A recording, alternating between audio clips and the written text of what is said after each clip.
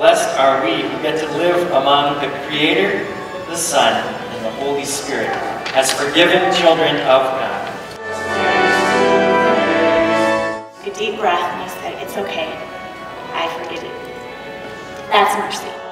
And God stepped between us and those stone throwers and died and said, I am merciful.